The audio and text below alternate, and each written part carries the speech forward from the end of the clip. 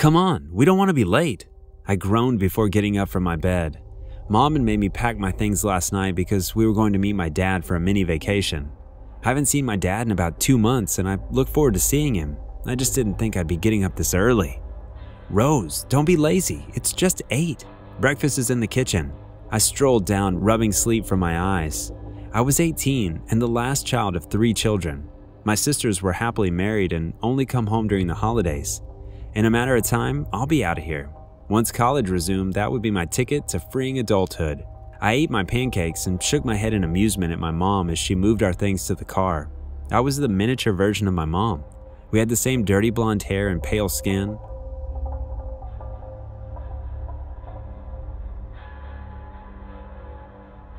My mom ordered me to get ready, and I had to hurry so as to not risk her wrath. It was snowing lightly and it looked perfect for a drive, as long as the snow didn't fall any heavier. We hit the road. We wore our coats because the cold was getting intense a little.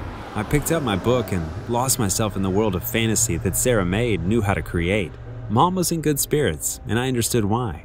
She was going to spend time with her husband after a long time. Their marriage was the definition of the perfect marriage, I've not seen any couple stay in love with each other the way my parents were. Even though they were old, they were still in love. They made me believe that love was real because they were perfect examples of what a couple should be. Mom smiled at me, and I shook my head in amusement. She was tapping along to the upbeat tune playing on the radio. We should be with my dad in two hours. The upbeat tune got interrupted by an announcement from the radio. They claimed that there would be heavy snowfall in about four hours and everyone should stay indoors. We glanced at each other and then shrugged it off. We should be there and safe before then. So we continued, and we just rode in silence. Oh no, what's going on? My mom asked. Cars in front of us were slowing down. There was a blockage on the road, and there seemed to be people around the blockage. Suddenly, there was a violent scuffle just ahead. The men around the blockage forcefully opened the doors and, and pulled out who was inside. My mom reversed and drove into the forest by the side of the road at a breakneck speed. My heart was in my throat and I was shaking a little. I couldn't believe that our car almost got taken from us. The snow started to fall rapidly and it seemed like the warning we dismissed earlier was coming to pass around us.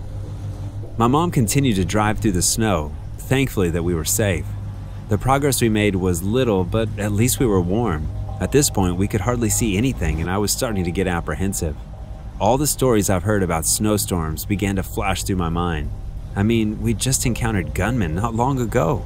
Then, all of a sudden, the car gutted to a stop. My mom was muttering no as she tried to start the car. I sighed loudly. This was the worst thing to have happened to us. Your dad will know what to do. Mom reached over for her phone and cursed when she saw that there was no phone service. This meant we were completely stranded.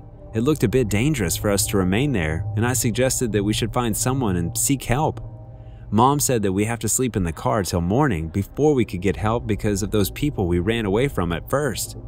I was too tired to argue.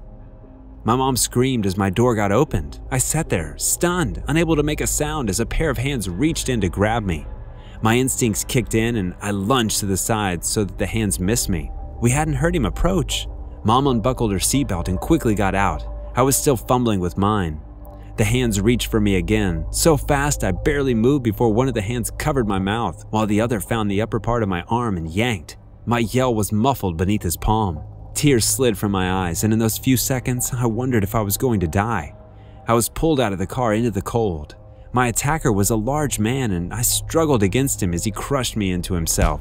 He suddenly lurched forward. Mom was hitting him from behind with a log of wood. She hit him at the back of the head with a loud scream, and he groaned as he dropped me. My mom yelled at me to run and I obeyed, glancing back to make sure she was following me. She raised the wood again and he caught it in his hand before it connected with his face. My mom dropped it like it made hot coal and hurried after me. Hearing his heavy, labored breathing behind us spurred us on. We were small and moved through the trees faster than he could, considering the fact that he was just injured. We half hopped, half jogged to the main road. There were still cars passing by, so we knew that we were safe. After limping and walking for about 15 minutes, we saw a motel next to a gas station. Mom had to drop her Rolex watch since all of our money was still in the car. The owner accepted it as a form of payment with a glint in his eyes. Dad had given her that watch on their last wedding anniversary. We slept like the dead that night. When morning came, we called Dad and explained everything that went down.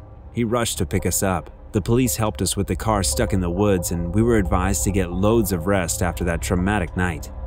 I was still a bit shell shocked, and it felt like I was kind of disconnected from myself. It felt like yesterday's events happened to a different person. Suffice to say, our vacation got canceled, and Dad came home with us instead. It wasn't the vacation that we were hoping for, but at least we were all safe together. Did you enjoy the first story? If you did, I would love it if you would subscribe to the channel. Oh, if you want your broccoli to be served fresh, then don't forget to hit the bell icon. Keep munching.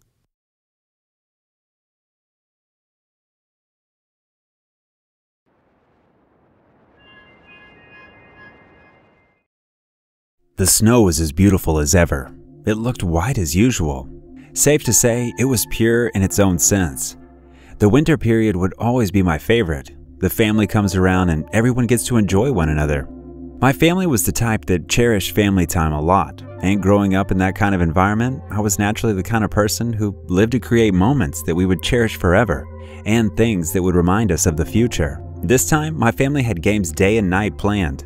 There were many games to play with, and my family decided that every game that was ever created in physical form would not go untouched, and so we had to sort out all of the games to different days.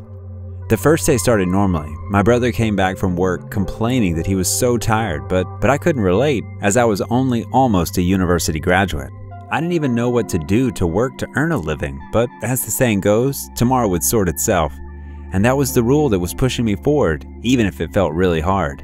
The first game we started with was Monopoly. The rule was very simple just try to get as rich as you could be. Dad was business minded, and we all thought he was going to win, but things took an interesting turn. And the fact that I was writing this with my whole family in the hospital just says the summary of all that happened. Things started quite well, with everyone in a good mood, and even my mom, who was rarely ever smiling, had a wide smile plastered on her face that day. At first, my dad had the winning hand, which made us all annoyed at the fact that knowing how to handle money was just his thing, but after an hour, Things took a drastic turn and Caleb, my brother, became the richest. It didn't seem like a problem to any of us, but if only the inner part of human beings could be read, we would have known that we were walking into the lion's den with the lion around, but with the face of a cute bunny.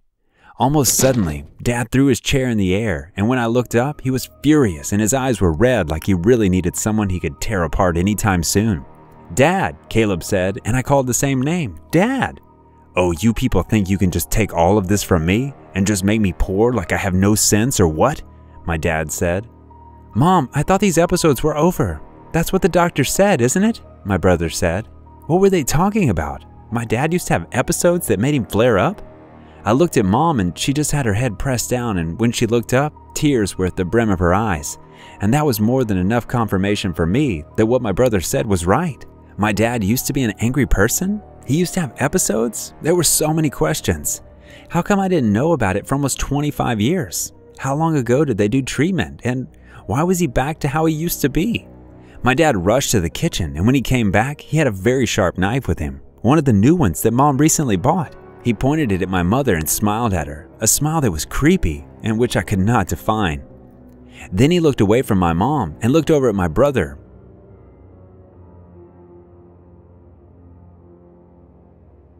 That made me scared, coupled with the fact that I could not tell what he was thinking or why he was moving towards my brother with determination in his eyes.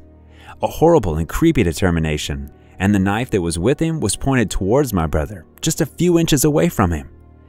My brother didn't try to move or run from the fact that a crazy father was pointing at a knife at him and that he could do anything crazy. Before I could finish processing my thoughts, my brother fell to the ground and blood spilled from his stomach. His skin suddenly went pale. I looked at my dad to see if I was going to find at least one hint of remorse in his eyes, but it was not there. Instead, he walked towards my mom with the same horrible and creepy determination, and before I knew it, my mom's body dropped to the floor too. They were both breathing, but who knew for how long? I looked up at my father again, and this time he looked confused, and just when he looked at me, I saw tears in his eyes, but I was not moved by that. What happened here? Did I lose it again?